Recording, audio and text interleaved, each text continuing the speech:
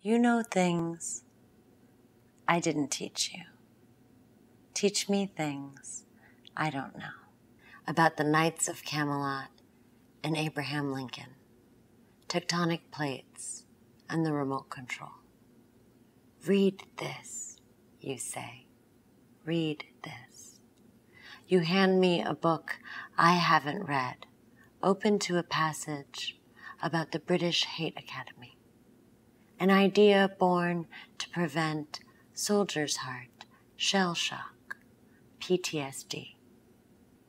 Desensitizing young men by showing them, teaching them to crave kill before they know the cost. You read over my shoulder, shake your head, waiting, certain this is yet another thing I simply do not know. I close the book. Inhale, unsurprised.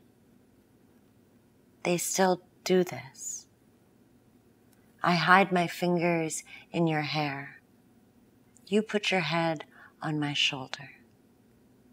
Tears form in the corners of your eyes. I watch, and innocence I had forgotten leave you. I press my lips to your forehead. It doesn't work. Not for any length of time. That's why it hurts when they come home.